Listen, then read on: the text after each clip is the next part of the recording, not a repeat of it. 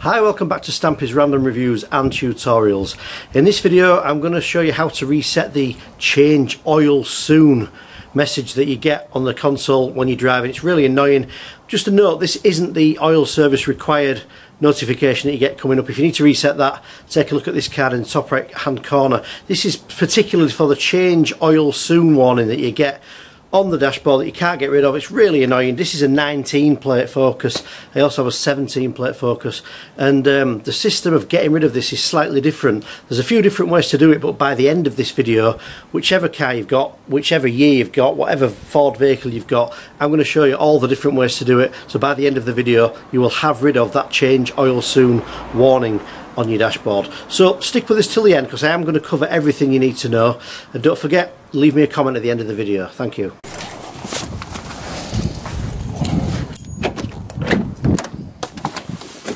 Okay, so a few different ways to do this. Don't worry, I am going to help you get rid of this.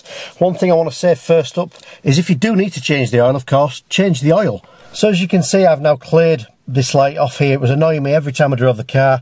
Change oil soon, change oil soon, change oil soon. Really annoying, couldn't get rid of it. Doesn't need changing. So I couldn't find a way to reset this. Now, the standard Ford way of doing this would be to turn your key on, two positions. So around here, you can go twice and don't start the engine, then what you would do is you would hold the brake and accelerator. Now, I'm sure you've heard this before if you've done some research on the internet, but unfortunately, that doesn't seem to clear the change oil soon light. If it doesn't, I'm going to come back to the pedal situation in a minute. If it doesn't, stick with me because I'm going to show you something on this console first, and then I'm going to show you how to do it using the pedals.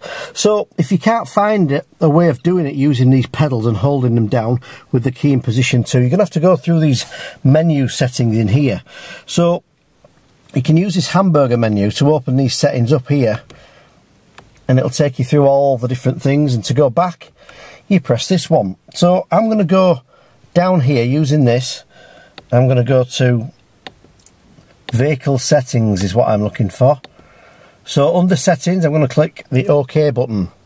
On some versions of these cars there are different ways to reset this. So once I'm in there, use this hamburger menu, and you can scroll down here, go to vehicle settings, and you'll see all these different things in different menus. Now, in some cars, there is actually an oil warning reset button and on my car no matter which menu I've been into it doesn't exist so all this is a bit confusing and things have changed on these newer Ford models. But the way to get rid of this, if you can't reset it on this console here, what you would do is you would go back to the original method of turning the key.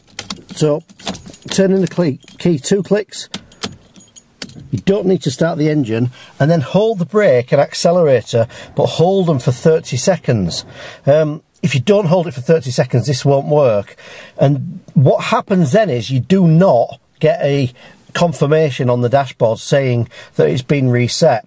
On the older models, such as the 17 plate, you will get a warning coming up saying this oil system's now been reset. Thank you very much. You can walk away.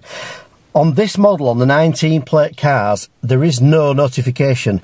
However, if you do the two clicks on the key hold the accelerator and brake for 30 seconds and then release the pedals, turn the car off. The next time you drive the car, the warning has actually disappeared for the change oil soon. So just because you don't get a notification saying that it hasn't been reset, you'll find that it actually has. So it could have caught you out. And again, have a look through these menus within these systems and just make sure if you're, especially if you're in America, they have all different things in these settings and you can sometimes get down to these things and reset them from there. If this helps you on one of the newer Fords, on the Mark IVs, please leave me a comment and click like because there's so many people struggling with this and I reply to all the comments I get on this video as well. Get in the car, turn the key, two clicks, hold the brake and accelerator for 30 seconds. You will not see a warning, notification or anything come up on the dashboard. Restart the car after a minute or so and drive away. Most importantly, if you do need to change the oil, of course, change the oil. So there'll be a card now in the end of this video where it will take you to the 17 plate version of doing this, where it shows you the notification as well, and also a car a card here showing you how to get thick snow foam with Karcher pressure washer. Thanks for watching. Leave me a comment. It's bad karma if you don't.